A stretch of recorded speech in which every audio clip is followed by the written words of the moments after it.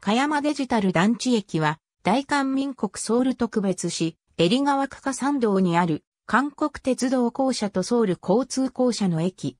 韓国鉄道公社の京府電鉄線、ソウル交通公社の7号線が乗り入れ、相互間の接続駅となっている。韓国鉄道公社の駅に乗り入れている路線は、線路名称上は、京府線であるが、当駅には、電車線を走る京府電鉄線電車のみが停車する。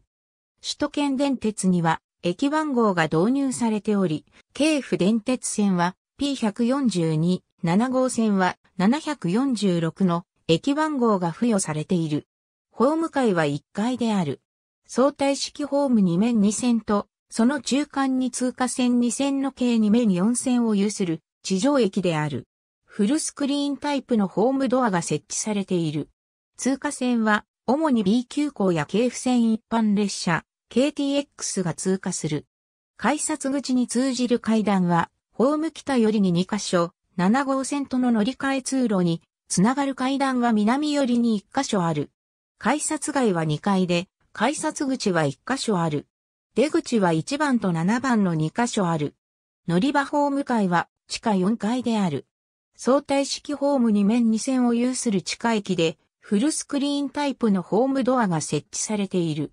開業当初は岩盤をうがって建設したことを強調するために人工の岩石が剥き出しているデザインとなっていた。しかし、この岩石が火災に対して脆弱である点が指摘されたため、2009年9月にホーム壁の交換工事に着手し、2010年1月に工事を完了した。